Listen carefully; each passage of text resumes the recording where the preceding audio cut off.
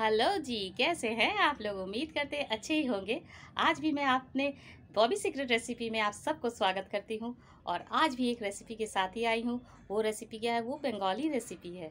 वो क्या है? बेगुनी।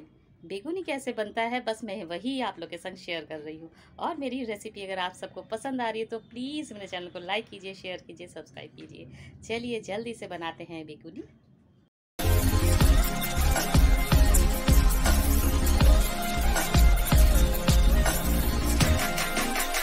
चलिए, बेगुनी के लिए हम लोग जो है, पहले बेसन का घोल बना लेते हैं। मैंने यहाँ पे तीन से चार चम्मच बेसन लिया है। ये बेकिंग पाउडर है, छोटा आधी चम्मच। मिर्चा स्वाद अनुसार, नमक स्वाद अनुसार, और छोटा सा, दो चुटकी हल्दी लिया है। कुछ नहीं करना इन्हें सब मिक्स करके एक अच्छा सा घोल बनाना है।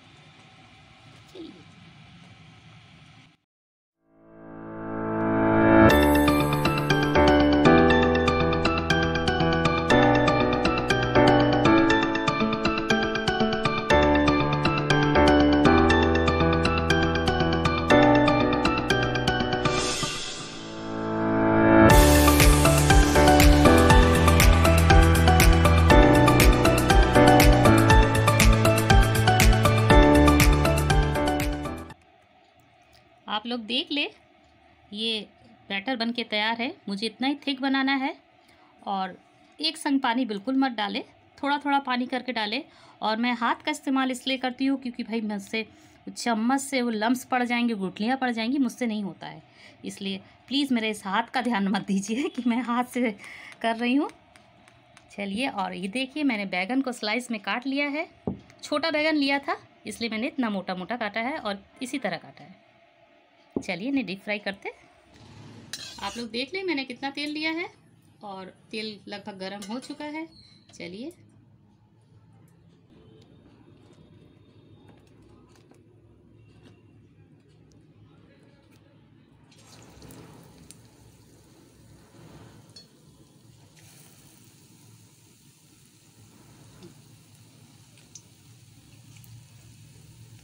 बस इसी तरह हमको सारे बेगुनी फ्राई करना है।